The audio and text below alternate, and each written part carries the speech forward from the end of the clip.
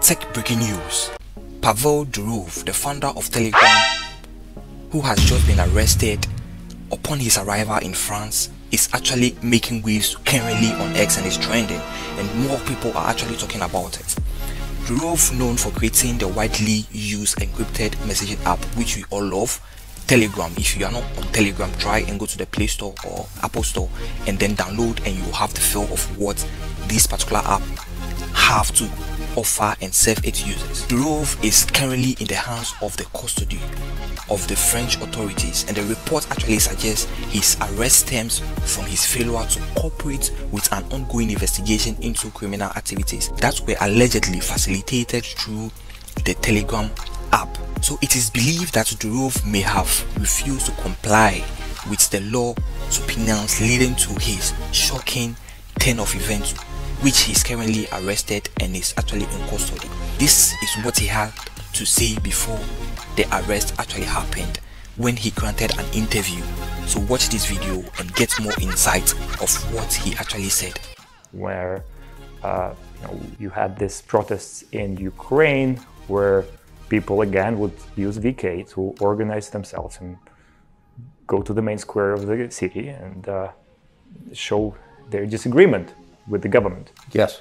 And we received a request slash demand from the Russian side saying you have to give us the private data of the organizers of this protest. And our response was, wait, wait a minute, this is a different country. We won't betray our Ukrainian users because you ask us to do that. We decided to refuse and uh, that didn't go too well with the Russian government as well. So at the end of that year, I had to make a difficult decision because I was offered basically a, a choice between two suboptimal uh, options. Uh, one of which was uh, I would start complying to whatever you know, the leaders of the country told me to do. The other one was I could um, sell my stake in the company, retire, resign as the CEO, and leave the country. Um, I chose the latter.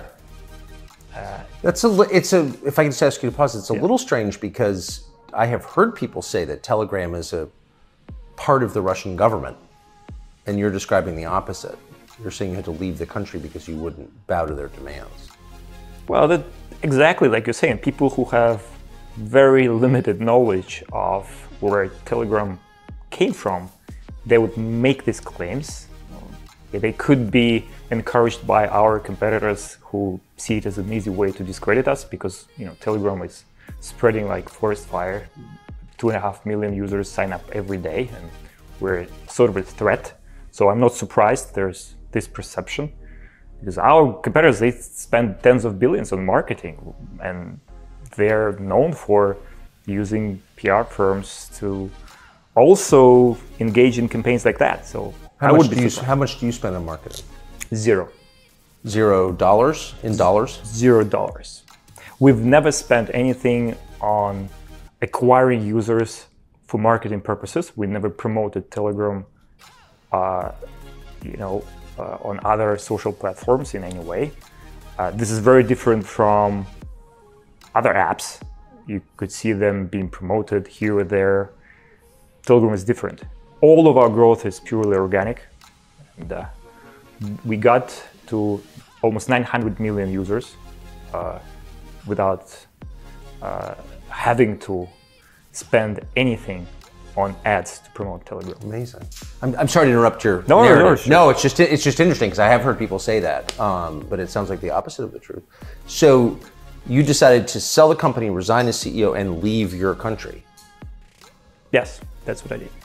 It was a bit painful because obviously my first company was my baby. I created myself. There was a lot of creativity, time, and effort invested in that platform. But at the same time, uh, you know, I understood that I would rather be free. I would want to take orders from anyone, and uh, I left behind probably a comfortable life. Uh, but for me, it was never about know, becoming rich. For me, everything in my life was about becoming free. Yes. And to the extent it is possible, my mission in life was to allow other people to also become free in a sense. And using the platforms that we create or I created, uh, my hope was that they could express their freedom. So yes guys, that's the reason why he actually is in the hands of the custody or is actually in the custody of the French authorities. As the story develops, please try and stay tuned for more updates on this particular story. If you like this video or you like what you've heard, what you've watched, don't forget to hit the subscribe button, like and share this video.